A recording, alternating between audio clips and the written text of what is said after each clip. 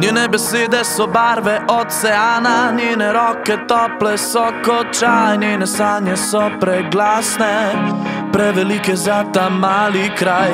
Neki leži na duši, kdo jim meče pesek v oči, rada bi le dokazala, da se ničesar ne boji.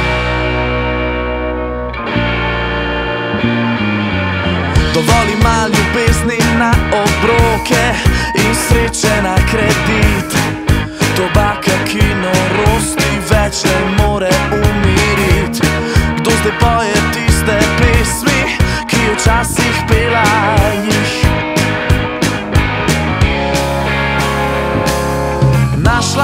bo tam, kjer nihče je ne pozna, tam, kjer cesta vedno nosi von svežega dežja.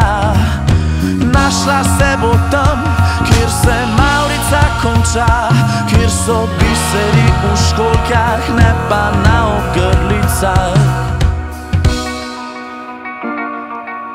Dovolj ima ljubezni na obroke